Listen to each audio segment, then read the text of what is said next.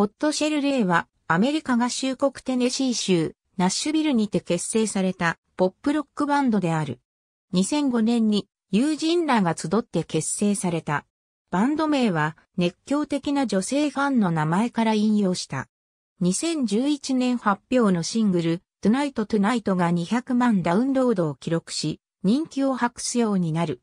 2005年にライアンとナッシュを中心に結成。2009年10月23日、デビューアルバム、ラブシックエレクトリックをリリースするが、全米アルバムチャートにはランクインせず。2011年2月8日、ミニアルバム、Tonight Tonight をリリース。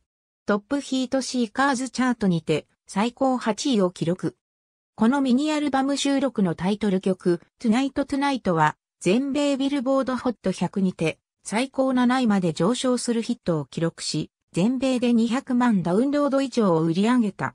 また、オーストラリア、カナダ、ニュージーランドのシングルチャートでも上位ランクインを果たした。